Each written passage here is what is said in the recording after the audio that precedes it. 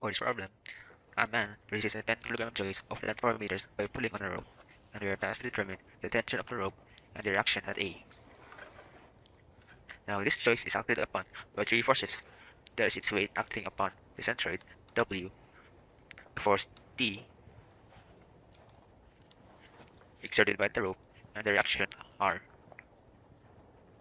Therefore, it is a three-force body system, and we can compute the forces by using the force triangle. Now first, we must note that W is equal to mass times the gravitational acceleration. This is equal to 10 kilograms times 9.81 meters per second squared, which is equal to 98.1 newtons. Now because the joist is a three-force body, the forces acting on it must be concurrent.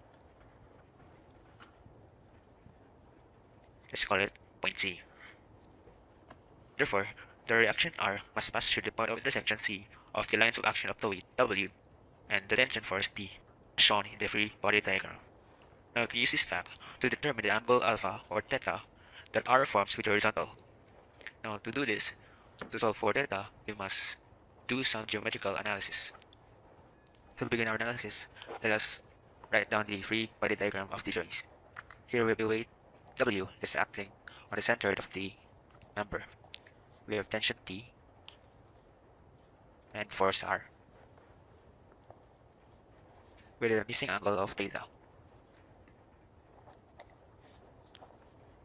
After that, we let point C be where the concurrent forces intersect.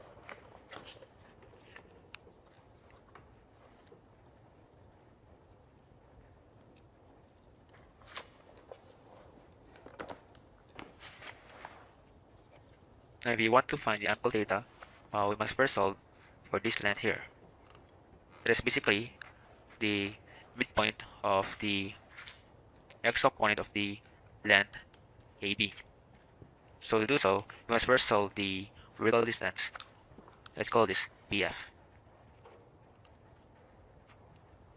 That is equal to 4 multiplied by sine 45 degrees, which is equal to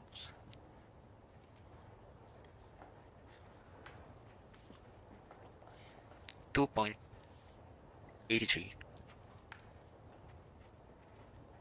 Now knowing that this is a 45 45 90 right triangle because it has angle of 45 this one here has also angle of 45 degrees therefore it is an isosceles triangle which means that this side here must also be equal to 2.83 and because this is the midpoint of the x component of the right triangle um, we can solve for let's say um, AF that is equal to 2.83 divided by 2 which is equal to 1.415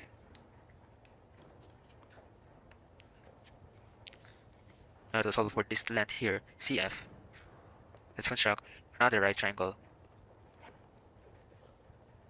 Let's call this BDC Now knowing that this length here is 1.45, this must also be equal to 1.415.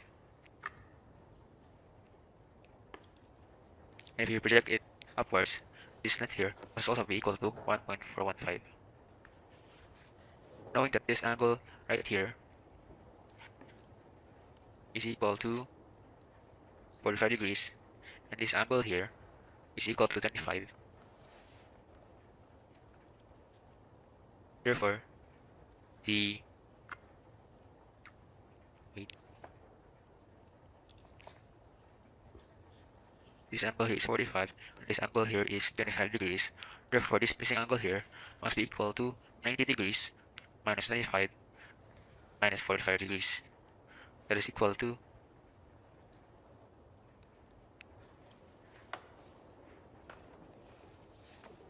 Twenty. For example, here is equal to 20 degrees. We can solve for this length by using the tangent function. So tangent 20 degrees is equal to opposite DC over adjacent 1.415. Therefore DC is equal to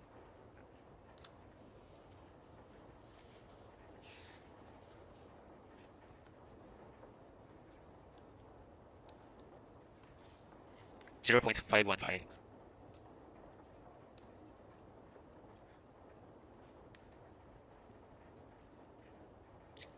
Now that we have the length for BF that is 2.83 and DC is 0.515, we can solve for CF which is equal to 2.83 minus 0.515.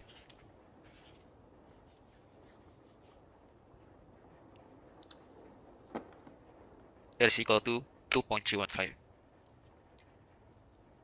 we can also solve for angle theta by using the tangent function.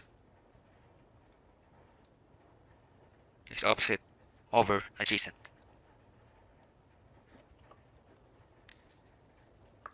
Therefore, theta is equal to arctan of 2.315 divided by 1.415.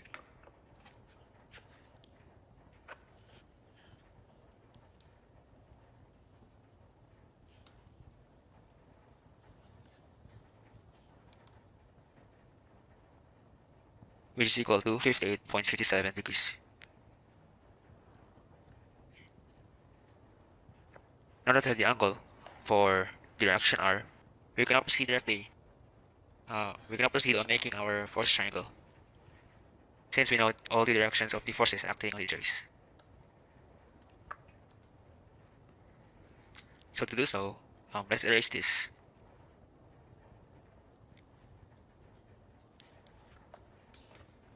Given that this is the weight W, or the value of 98.1 newtons, as a lawyer, and we have tension T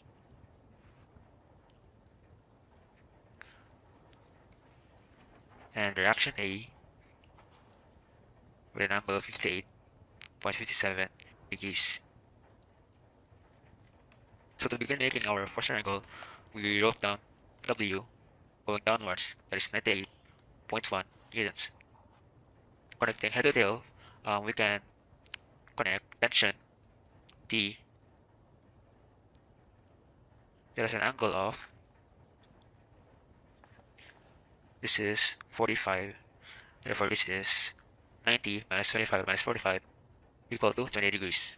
So this angle here is equal to 20 degrees. And this is right angle. And what is left is for the reaction R with an angle of theta. Now given that this angle here must also be equal to 20 degrees by the alternate inter-angle theorem, therefore this remaining angle must equal to 58 minus 57 degrees. In other words, this angle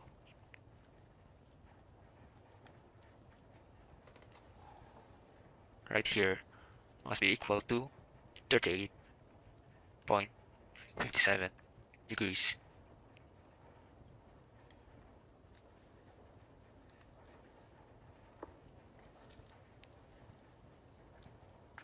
This is our tension T. And for the remaining angle, knowing that in a triangle, the total angle must sum up to 180 degrees. Therefore, um, we let this angle equal to x. 180 degree must equal to x plus 38.57 degrees plus 20 degree plus 90.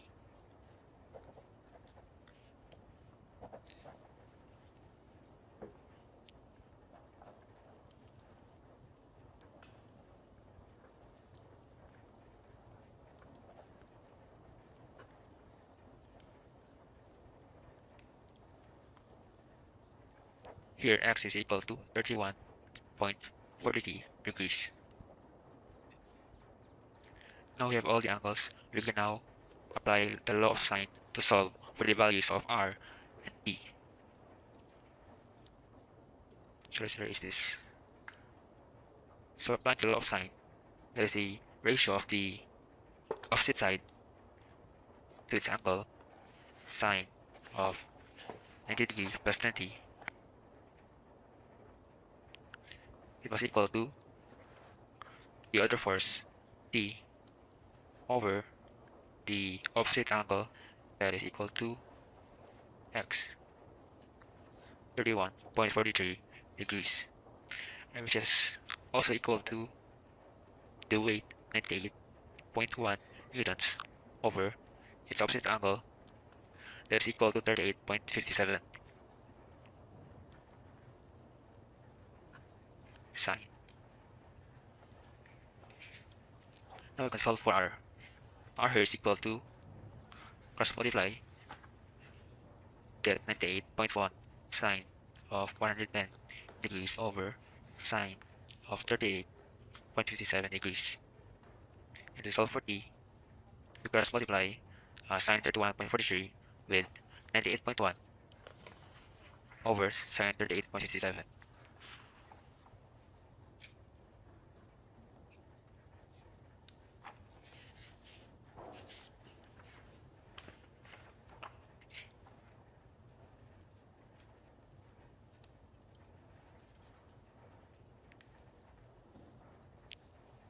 So for r, this is 98.1 sine 110 degrees divided by sine of 38.57 which is equal to 147.86 and for t that is equal to 98.1 sine of 31.43 degrees divided by sine of 38 0.57 which is equal to 82.05 newtons. So let's check if this is in our choices. R is equal to 147.86. That is A. And for tension that is equal to 82.05 which is letter C.